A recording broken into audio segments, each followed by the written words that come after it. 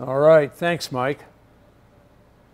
I'm Gale Banks. We're here in the engine room at Banks Power, and I'm going to tell you what we've got cooking for 2019.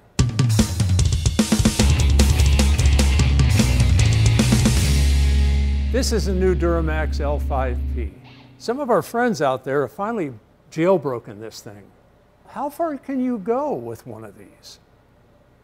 We are going to find out. We're going to take it as far as the internal parts will go. We're going to take it as far as the external parts will go. And we're going to find the limits. And then we're going to make the parts all those tuning guys need to realize their wildest dreams. As we go through this, I'll be using our new iDash data monster. So we'll be logging every performance increase and everything that's negative as well. We'll know when we're done what's hurting you and what's helping you. And specifically, I'm real interested in how much is the turbo adding. I mean, the whole thing starts with ambient air. That's worth so much. Then you have the turbocharger. You have the intercooler. That adds some more. I want to put a horsepower number on every one of those items. I want to know what they're adding. And then you've got all the piping and manifolding. That adds nothing. It actually subtracts. We want to make the subtraction minimal and the addition as big as it can be and we want the engine to live through it.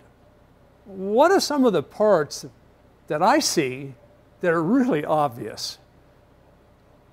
If you jailbreak one of these, you're pretty much building a racing version of your truck. It takes the sanctioned racing events. It's not going to be legal anymore.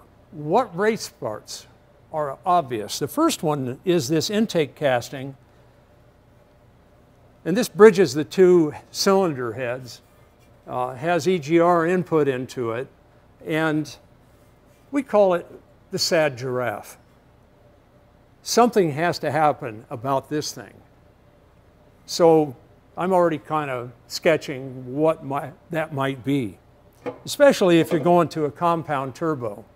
So we already make a replacement casting for this thing for military vehicles but there's no way that thing's going to fit under the hood of your truck. One of the major things I'm looking at is this damn turbocharger. It's a variable geometry. Borg Warner has a really remarkable controller for the variable geometry. Compressor has quite a bit of capacity, but I've talked about this thing before. It's the turbine that goes into what I call turbine choke. Uh, somewhere north of 500 horsepower, the drive pressure starts going for the moon. I'm going to nail this down because I, I hear guys that have jailbroke these things talking about over 600 horsepower. I don't know if I have the nerve to go there because it, it's the, the drive pressure we're seeing is pretty negative.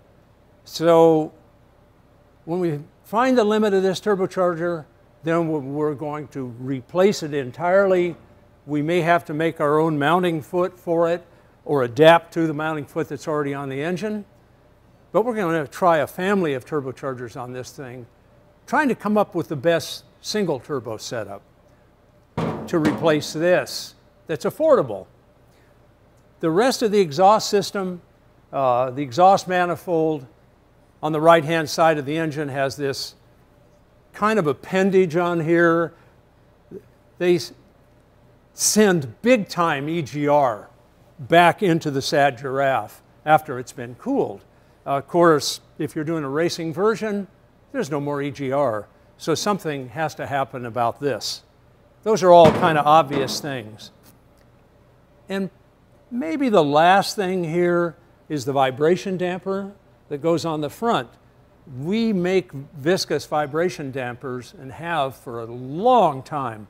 Uh, the, I can't show you, but the setup that goes on our military version of this thing is a monster. I mean, it drives all kinds of stuff off the nose of the crank.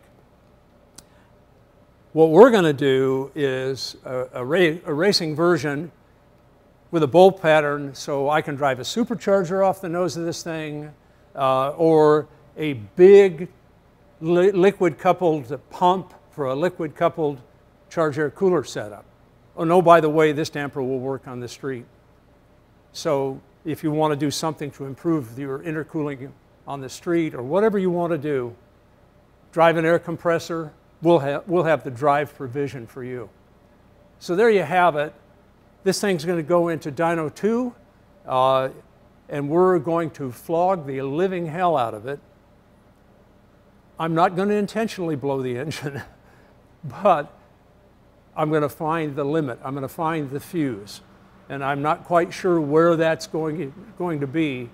Uh, in my dreams, I'm going to get seven, eight hundred, maybe 900 horsepower out of this thing before it's done in stock form. We'll see. Uh, maybe we'll knock at the door of a thousand horsepower. Or the crank hits the street or the heads hit the hood. I don't know. We'll, we'll see where we come out. As we get into this, some of our favorite tuners are going to fly out here and be involved with us.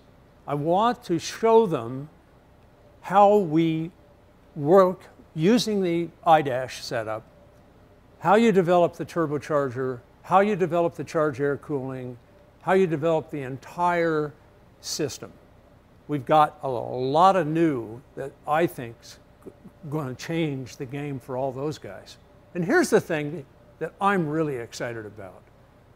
For years, I've been wanting to do a super turbo version of this, so we're doing a supercharged, twin turbocharged L5P for monster trucks. And you Cummins guys, don't feel left out. We've got some big surprises coming for you. Hang on tight. It's going to be a wild ride. I suggest you subscribe.